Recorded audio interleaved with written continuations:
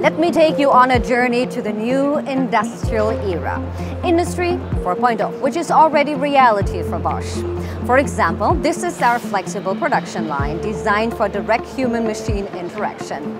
Here you can see how this workstation adapts to each operator by adjusting the seating position, lighting and instructions. Plus, the integrated APAS assistant can work directly with his human colleague without the need for a safety fence. He can do this because of the sensor skin which covers the entire robot arm. Before a human touches the APAS assistant, the robot stops automatically. In the mobile version, the APAS assistant can be used wherever he is needed in the production facility.